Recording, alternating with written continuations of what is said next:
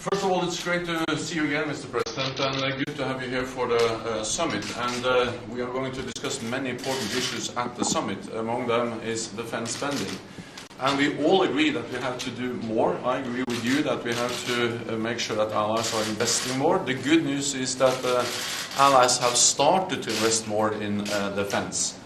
Uh, after years of cutting defense budgets, they have started to uh, add billions to the defense budgets. And uh, last year was the biggest increase uh, in defense spending across Europe and Canada in a generation. Why was that last year? It's also because of your leadership, because your uh, clear message. And, uh, and uh, They won't write that, but no, I have said it before, and, and but the thing is that uh, uh, it really has uh, uh, it's it, your message is having an impact, uh, and we are going to build on that to make sure that we have further increases. Uh, you initiated last year that uh, all allies are going to develop national plans on how to spend more on defense. And based on these national plans, we now estimate that the European allies and Canada will add 266 uh, uh, extra US dollars for defense from now until 20 uh, billion US dollars until uh, until 2024. So, so this is really adding some extra money. It helps, uh, and we are moving in the right direction, but we still, uh, but, oh, we still have to to do more, and that is what we're going to address at the summit later on today. Let me also add that that strong NATO is good for Europe, but it's also good for the United States. Uh, the US military presence in Europe helps uh, to protect Europe, but it also helps the United States project uh, uh, power to the Middle East, to Africa, and uh, I think also that the cloud, the military cloud of, uh, of Europe, the economic cloud, the political cloud, also is helpful dealing with, with Russia. And we look forward to the meeting we're going to have with President Putin, and I think that leaders are also looking forward to your thoughts about the meeting with President Putin let, uh, later on. Uh, Well, I have to say, I think uh, it's very sad when Germany makes a massive oil and gas deal with Russia, where you're supposed to be guarding against Russia, and Germany goes out and pays billions and billions of dollars a year to Russia. So we're protecting Germany, we're protecting France, we're protecting all of these countries. And then numerous of the countries go out and make a pipeline deal with Russia where they're paying billions of dollars into the coffers of Russia. So we're supposed to protect you against Russia, but they're paying billions of dollars to Russia, and I think that's very inappropriate. And the former chancellor of Germany is the head of the pipeline company that's supplying the gas. Uh, ultimately, Germany will have almost 70% of their country controlled by Russia with natural gas. So you tell me, is that appropriate? I mean, we, I've been complaining about this from the time I got in. It should have never been allowed to have happened. But Germany is totally controlled by Russia because they were getting from 60 to 70 percent of their energy from Russia and a new pipeline. And you tell me if that's appropriate because I think it's not. And I think it's a very bad thing for NATO, and I don't think it should have happened.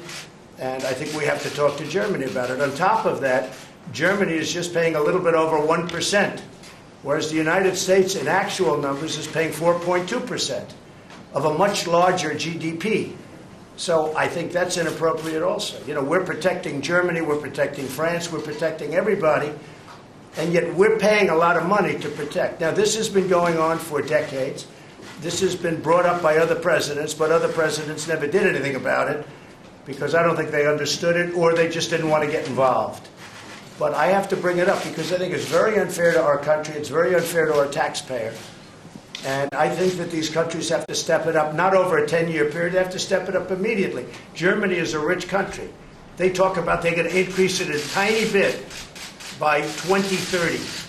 Well, they could increase it immediately tomorrow and have no problem. I don't think it's fair to the United States. So we're going to have to do something because we're not going to put up with it. We can't put up with it, and it's inappropriate. So we have to talk about the billions and billions of dollars that's being paid to the country that we're supposed to be protecting you against. You know, everybody's everybody's talking about it all over the world. They'll say, "Well, wait a minute. We're supposed to be protecting you from Russia, but why are you paying billions of dollars to Russia for energy. Why are countries in NATO, namely Germany, having a large percentage of their energy needs paid you know, to Russia and, and taken care of by Russia. Now, if you look at it, Germany is a captive of Russia because they supply. They got rid of their coal plants. They got rid of their nuclear. They're getting so much of the oil and gas from Russia.